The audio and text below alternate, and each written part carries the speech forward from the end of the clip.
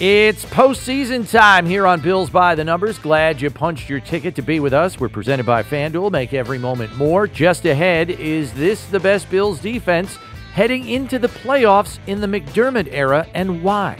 We talk Steelers with former Bills and Steelers linebacker Arthur Moats, and we have our one burning question. Is there a way to block Steelers fans at the state line this weekend?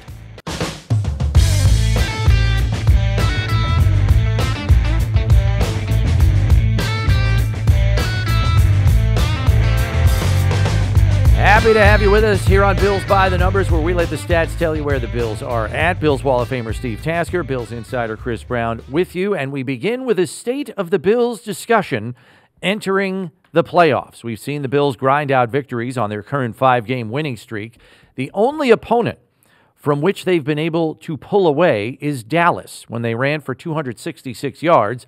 The rest of the games during that stretch have been nip and tuck, with the other four being won by seven, six, three, and two points. The defense has had to finish three of those games on that five game winning streak at Kansas City, at the Chargers, and at Miami last week. The offense, as we know, was able to run out the clock against New England. So, as the Bills enter the playoffs, is Buffalo's defense the best in the McDermott era entering this postseason? Um, statistically, I don't know if it's the best, but it, I, I'll say this: it's the one I like the most because they make plays. Yeah. You know, when they when you need something to happen, they they go make it happen. Turnovers, sacks, fumbles.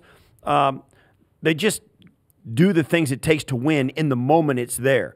And that's different than what we've seen. This has been a defense that has kind of waited on the other team to mistake it away. And the Bills, this defense, even though statistically sometimes they get nicked like giving up explosive plays once in a while, man, oh man, they come up with some turnovers and they get a sack here and there and they rush the passer and they do these things consistently. Um, so I, yeah, while it's statistically not the best, I think it's the one I have maybe the most confidence in. Yeah, I think that's a good way to put it. We remember the 2021 Bills defense was number one in the league in total defense. They were also number one in a host of other categories, and they were either first or second in points allowed. This team is fourth in points allowed, and they're up near the top in a lot of categories. They finished third in the league in sacks, tied for second in sacks in franchise history with 54. Um, and you're right, the splash plays have been there, and that is what Sean McDermott wanted to infuse into this defense as he took over the play calling duties, and the results are obvious. And you're right. You look at some of those games down the stretch on the winning streak in the sprint to the division title, and they end the Kansas City game with a tip pass by Ed Oliver on third down, and then they get a fourth down incompletion. They win the game by three. You go to the Chargers game. Ed Oliver with a sack at the end helps them run the clock down so the Chargers can't come back and kick a game winning field goal and then la- last week against the Dolphins, the Taylor Rapp interception after the Bills couldn't hold on to the football and kill the clock at the end. So, yes, splash plays have been the biggest difference. And those are the kinds of plays that win playoff games, too. Absolutely. I, mm-hmm. and I think the, the part about it is we've been talking about this since the Leslie Frazier decision was made in the offseason that maybe this team might not be as – as staunch statistically, but the splash plays would come back, and it's exactly the way it's happened. And um, that's one of the predictions we made about this season that we got right. Actually, uh, it really has turned out that this defense, while still being strong, top five in points allowed, they get splash, splash plays. And there have been instances at the end of games where, in past, you can think of times where they were they played passive and just waited for the other team to run out of opportunities this defense forces the issue. And a lot of teams, what we've seen, like these last four or five games, teams just aren't up to making the plays it takes to win against them. And that's that's a big difference. Yeah. As we mentioned, we know this is the first season that head coach Sean McDermott is calling the defense. And one thing he does is change the picture a lot for opposing offenses. He's also had to change things due to injuries and personnel changes. No Matt Milano or Tre'Davious White, for example, but the white void has been filled by Rasul Douglas. They found a way around the Milano absence, mixing and matching personnel and scheme.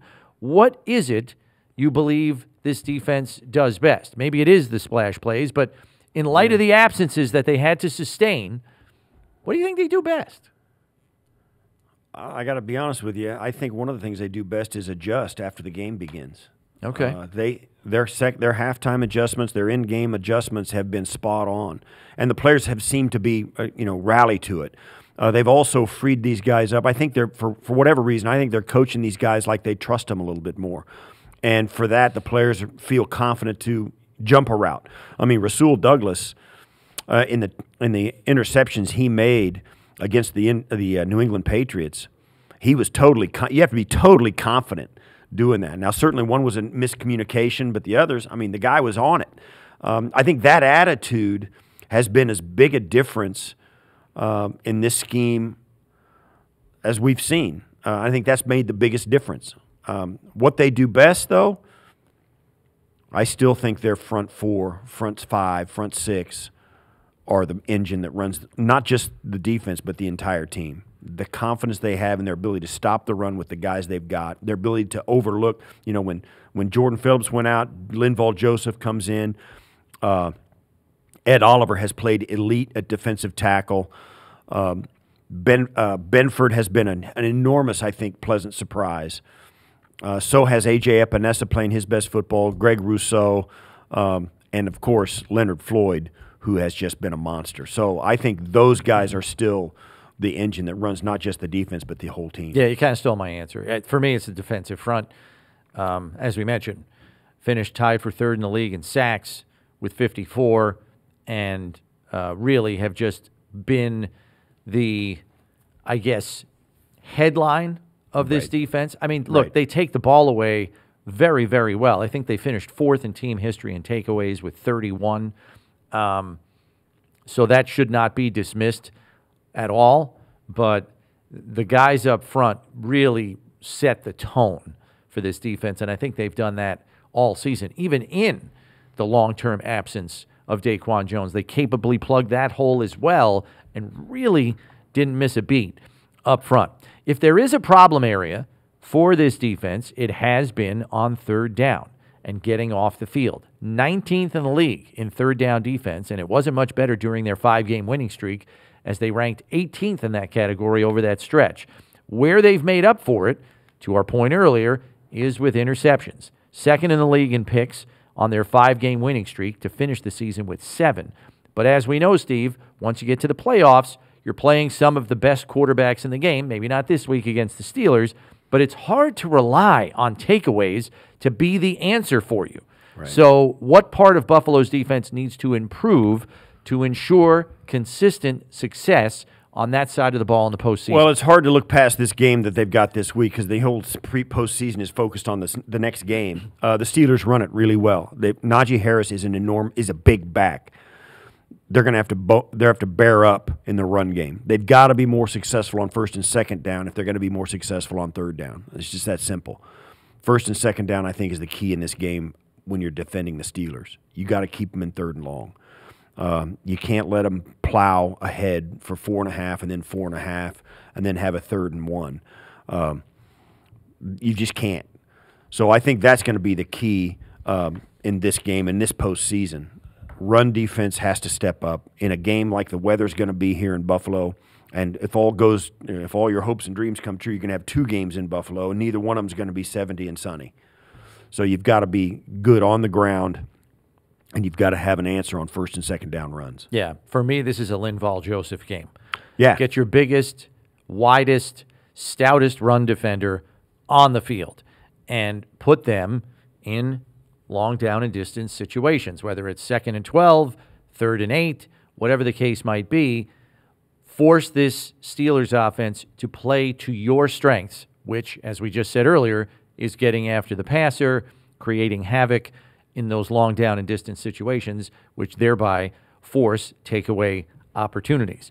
Fortunately for the Bills, they're playing a quarterback in Mason Rudolph who serves as more of a complement to the Steelers' run game, so perhaps that will let Buffalo focus on stopping the run first and foremost on Sunday. For more on this wild card matchup, we welcome in our good friend, former Bills and Steelers linebacker Arthur Moats, who hosts the Arthur Moats Experience and does Steelers pregame and postgame work for more details on this Steelers squad.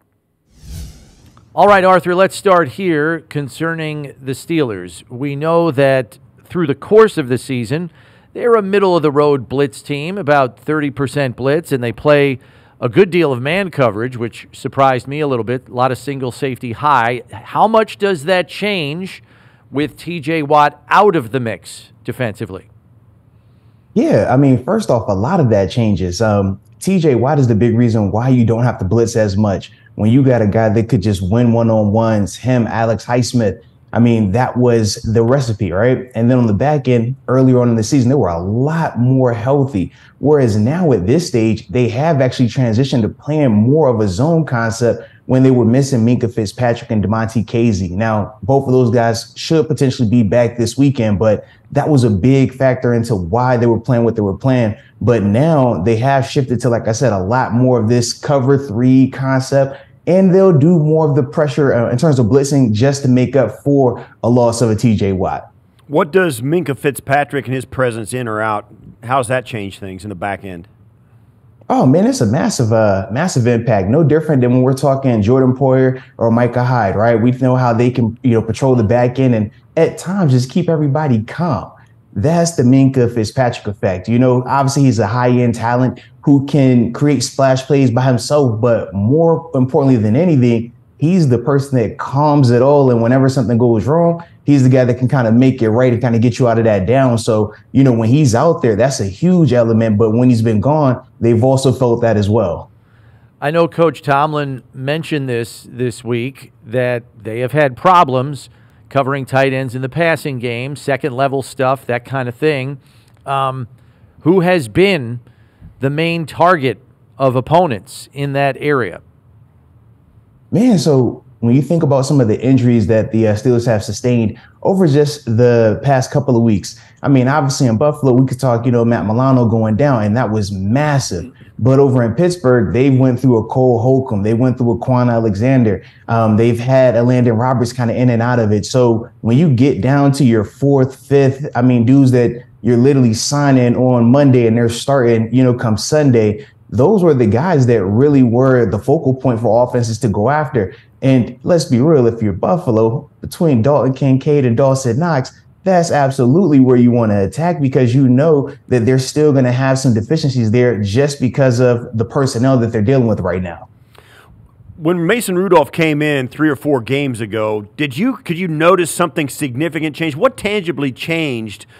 I mean, it's got to be more than just a vibe of a different voice calling the plays. What did Mason Rudolph bring to the table that made things made it possible for these guys to go on this run? Yeah, trust me, man. A lot of people in Pittsburgh were completely shocked by his success and, you know, the sustainable uh, element of it as well. Because prior to that, the only, you know, long term example that we had was from when he first got a chance to start, and he obviously was benched at a point in that season for Duck Hodges. So the big thing that I think this year is just that he's playing with a lot more confidence. He looks like a guy who has failed before, and while he was, you know, working his way back, he actually was working on developing certain skills. I think his footwork is a lot more consistent. I think in terms of just him processing information when he's looking at different coverages, zone versus man, I think that he's just a lot more confident when he's doing that. And that's a big reason why he's able to play the way that he is. But you also have to factor in the running game since he's taken over, Najee Harris and Jaylen Warren on the ground have been a lot more dynamic, a lot more productive. And the same way we look at James Cook and we're seeing how that has really helped out Josh this season, that's the same concept for Mason Rudolph right now. And those running backs have really taken a lot of pressure off of him. And as much as uh, we understand that Najee Harris is kind of the the battering ram, Jaylen Warren has impressed. I mean, this guy's got some explosive power to his game, and he can take a short pass and go a long way due to that explosion and breakaway speed. What what has to me, he's the guy you got to worry about the most because he's a big play waiting to happen out of the backfield, is he not? No, without a doubt. I mean, when you're talking Jaylen Warren, he's the explosive guy, like you said. We always say Najee Harris, the body puncher. He's the guy that's going to jab, jab, beat you up, beat you up, have you, you know, thinking it's one way, one way. And then when 30 comes out there, Jaylen Warren, that's the guy that takes that five yard run 60 yards. That's the guy that takes that screen pass 50 yards. The guy that can make a guy miss and really put your defense um, just strain them, you know. And the thing that has been really unique is the dynamic of how both of those guys have come to the team. One being a first round draft pick, the other being an undrafted free agent, but their ability to just work together, right? Not having any personal emotions have any type of negative impact on their play. That's the beautiful part. But yeah, Jaylen Warren has done a phenomenal job and has really been a breath of fresh air for that Steelers offense.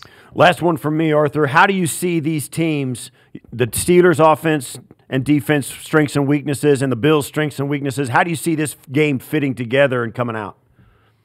Yeah, man. So I see this going a couple of ways. Um, obviously, when you're talking Pittsburgh, since Mason has taken over, the running game has been a big part of it. The play action pass shot play that we've seen, whether it's to Diontae Johnson or George Pickens. And then defensively, it's all about creating the turnovers. They live with the turnovers, and that's how they get after it. But when you talk of Buffalo, we know you can either do the slow game where we're going to play through James Cook and beat you that way, him on the ground and him catching out the backfield or is Josh taking over and being Josh? But we do also know with Josh, you got to just make sure that you survive the early portion where you might have that occasional turnover or two. But once that is out of his system, that's where Josh just goes crazy. So for me, I'm excited to see how this game plays out. I do think it's going to be a close game, more so with the weather. I think that that's going to have a little bit more of an impact on it. But either way, I definitely think this should be a good one. And I'm going to be excited regardless.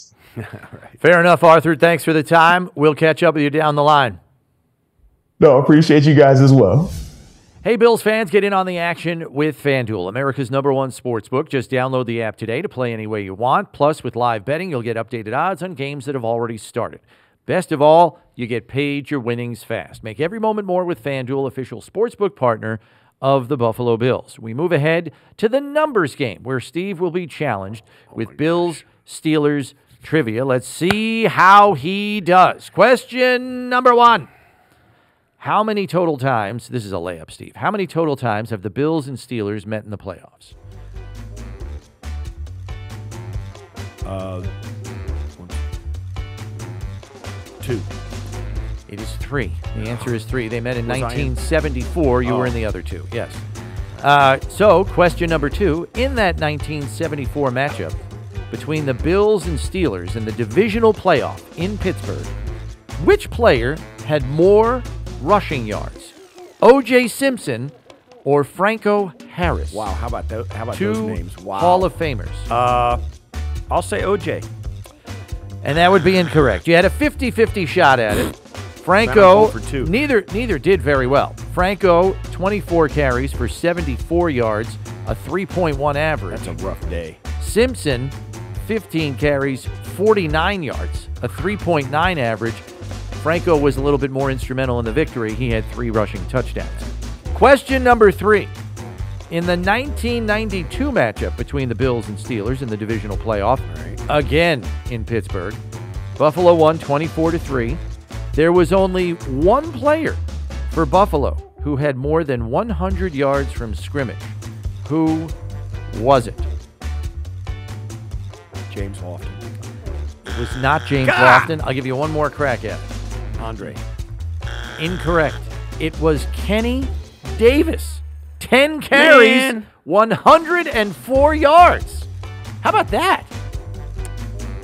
I'm, i hate myself. All right, question four. In the 1996 divisional playoff against the Steelers, so this is 95 season, January 96. Right. There was someone else besides Jim Kelly who threw a touchdown pass for the Bills. Oh. Who was it? Alex Van Pelt. There you go. Offensive he had to come in for an injured Jim. Of the Cleveland Browns this year. That's right. Had to come in for an injured Jim Kelly, although Jim did come back in the game. Alex finishes four for 10 for 27 yards. Um, so, yeah, he threw a touchdown pass in his native Pittsburgh. Yeah, very much. Bonus question, Steve. All right. How many questions? How many catch? Yeah, this Question five, bonus question. How many catches did Steve Tasker have in that 96 playoff game? I had a couple. One of them was called back on a holding call. I had one that was down to the one. I had a bunch of handoffs and stuff like that. Total I don't know if- receptions in the game I'm for say- Steve I'm just Tasker. gonna say one.